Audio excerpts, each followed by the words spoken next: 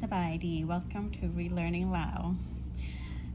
Well, I made a little mistake on my video because I added in, or actually not me, it was Google. It spelled the wrong word because it just doesn't recognize the difference between these two words. I don't blame it. Okay, and I, and I caught it after the fact, so I'm just going to correct it here. This one, guess what it is? Diamond. And this one is spicy.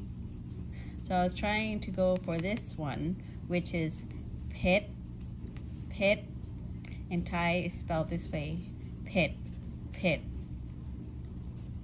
Do you hear the difference between Lao and Thai?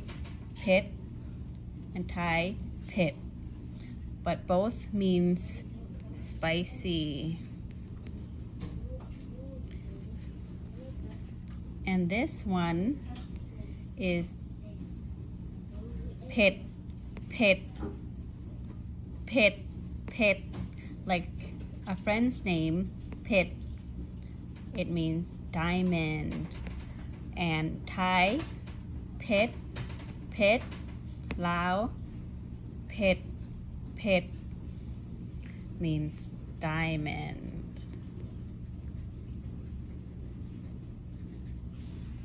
Okay, and the thing about Thai that I don't really understand right now is they use this.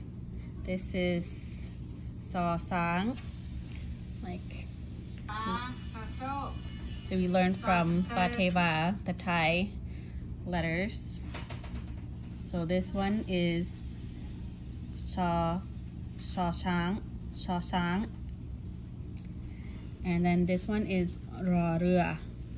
So how does this become like the D?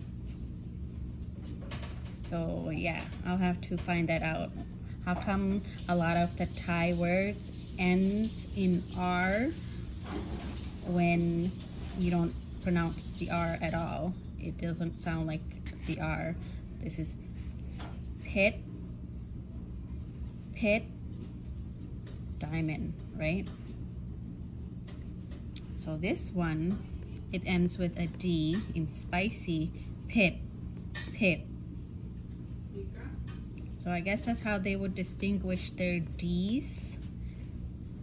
And even though it sounds the same, it's spelled differently. So there must be an explanation. I don't know what. Just difference of um, spelling to distinguish the homonyms. So same sound, very similar, not same, very similar. Pit. See ma? Uh, pit. Pit. Pit. Pit. Okay. And Lao